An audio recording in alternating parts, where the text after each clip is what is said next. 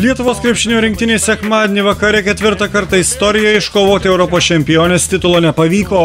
Žemyno pirmenybių finale mūsiškiai 63-80 pralaimėjo Ispanijos rinktiniai ir nesustabdė jų lyderio Pau Gazolio, kuris pelnė 25 taškus ir atkovojo 12 kamolių. Reikia pastebėti, kad vis tik tai planas varžybų ispanų trenerio buvo sudėliotas labai protingai.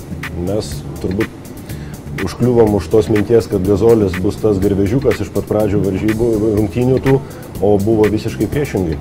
Ir taškus pirmus taškus pelnė žemesni žaidėjai, o mūsų gynyba visa buvo pastatyta, kaip sulaikyti tą Gazolio žaidimą. Šiuose rungtynėse lyderio, vieno tokio lyderio, kuris ryškiai patemtų komandą, kaip Jonas Mačiulis tempė kelias varžybas, tokio lyderio neatsirado.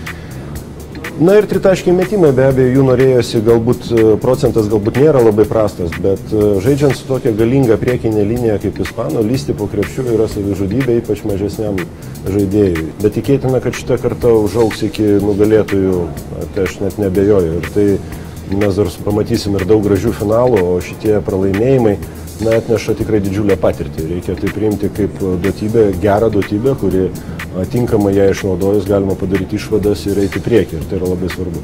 Nepaisant skaudaus pralaimėjimo, Lietuva iškovojo kelialapį į olimpinės žaidynės ir sidabro medalius, apie kuriuos prieš prasidedant čempionatui tik galėjome pasvajoti. Vengrų kareiviai įkalė stulpų metaliniams tvoroms pietinėme Beremendo mieste esančiame pasienyje su Kroatija. Prie Serbijos sienos su Kroatija atvyko apie 50 autobusų vežančių maždaug pustrečio tūkstančio migrantų. Policija pranešė, kad nuo rugsėjo 16-osios, kai Vengrija uždarė sieną su Serbija, į šalį atvyko apie 27 tūkstančiai migrantų.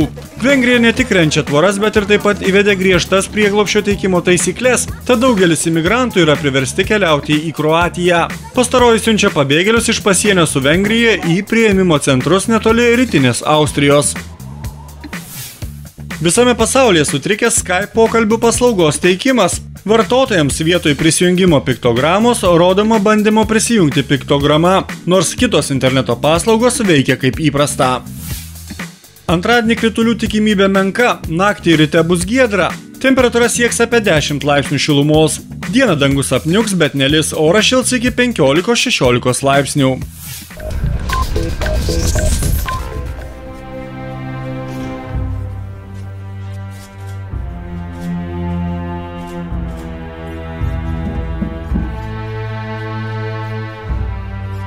Hello, everybody.